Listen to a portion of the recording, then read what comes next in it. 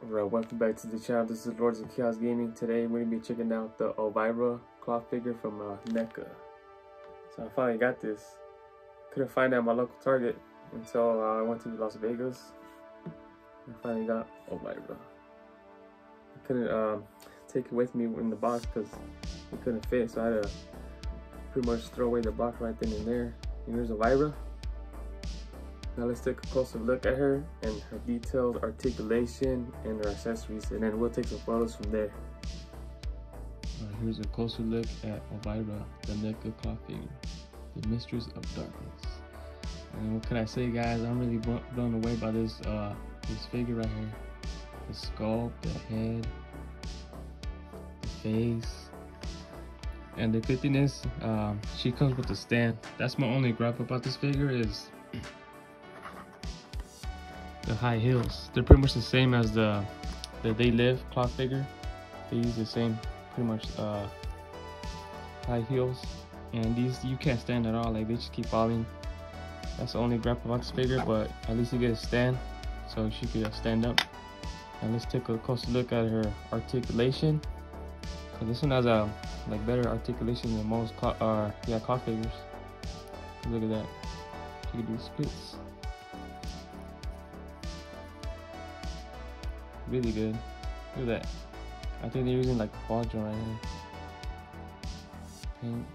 Well, I think this, these furs are gonna have uh, this fur has better articulation because the cloth is not hindering her articulation.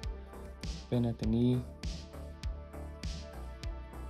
It does have a like a swivel, just up and down a little. Bit. I don't want to like chip the paint too much.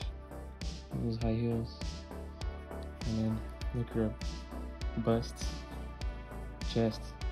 You gotta have a, a, a big chest with a, a Elvira figure, you know. If you seen her, you know her. She got some big jugs. Now she does have a rotation, a little bit of rotation at the the waist. I don't want to break her, you know. I just got her like a couple days ago, or pretty much yesterday. Bend at the arm. Look at that. She does have like a little bracelet. Look, her, her finger does come with a little ring, black painted nails. Gotta cover them bracelets. Wow, man, I'm really blown away by this figure it looks freaking amazing. It looks straight up like Elvira. Hair rotation. Uh, she she she can do 360, but the hair hinders the articulation, so I don't want to do that. Now let's uh, take a look at her uh, her um, accessories.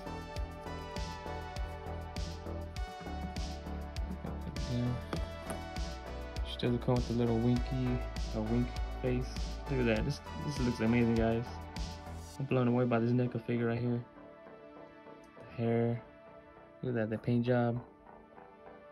I highly recommend this figure, like, whew, phenomenal. And then the chalice, well, I forgot it's called. Is it chalice? But this, man, this looks badass, dude. The paint job and everything, they did an amazing job. Little dagger.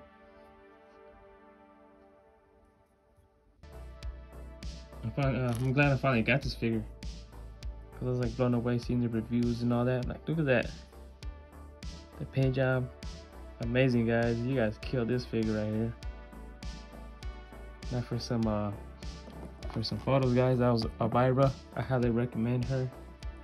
If you can find her, if you can't find your um your Target, check online like Big Bad or Entertainment Earth or other websites. I highly recommend this video guys, so take some photos and then if you like the video, leave like, comment, subscribe for more content like this.